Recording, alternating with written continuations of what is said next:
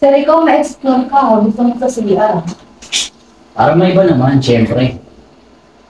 Eto.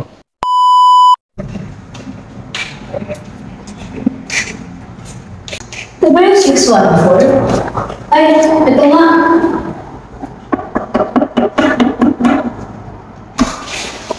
Ay, Lo. Ikaw ba yung magmamasahe? Ako, ako po.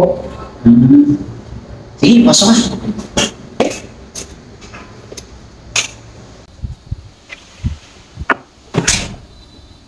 Sige, tara. Dito tayo. Dito po sa loob. Mhm.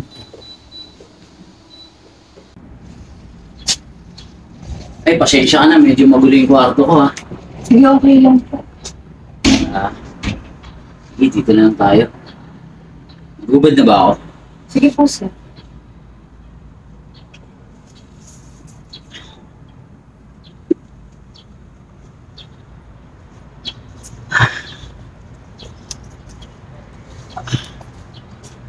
Pakibaba na lang po yung kwarto namin. Ay, short ko.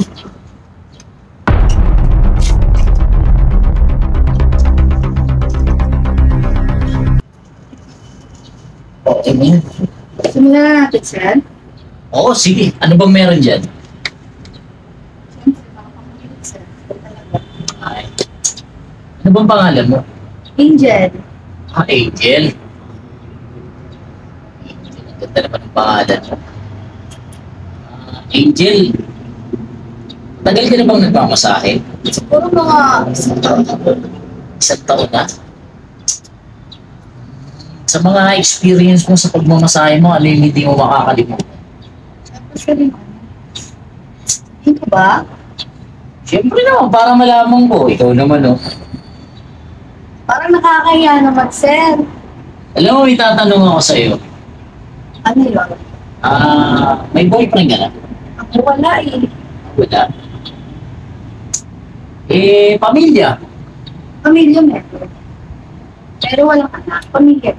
Ah, okay. Ano kasi, mag-isa lang ako rito eh. Kaya naisip ko na pamasahe sa'yo. Eh, nagkataon, ikaw naman yung tarito. Eh, alam mo yun, yung may hinahanap ako. Ano pa minahanap ko, sir? Eh, di na ako magpapaligoy-ligoy pa. Eh, nag-extra service ka ba? Ako? Siyempre, di ko na rin tatanggi ka ba? Siyempre, pag-uwi. Kasi yun yung extra income. Kano naman? Depende, magkano yung budget? Ah, siguro ano, 2K. 2K? Pwede gawin mong 2.5 para pag-class mo ng iba. Pwede na, sige.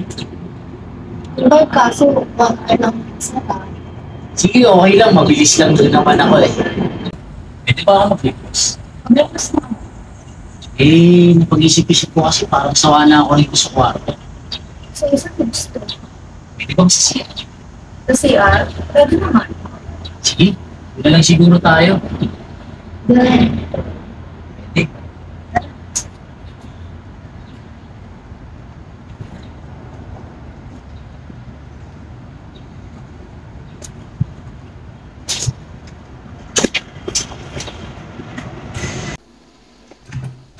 ikaw ma-explore ka o gusto mo sa CR?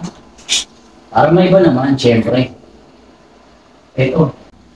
Ah, medyo maliit lang to pero pakilinis na lang to. Tsaka yung kortina, pakipalitan na lang. Tapos, babalik ako rito after one hour. Ito yung sinasabi mo. Oo, Mabilis yung banyo mo? tupay. Babayaran kita ng tupay. Eh, akala ko pa naman!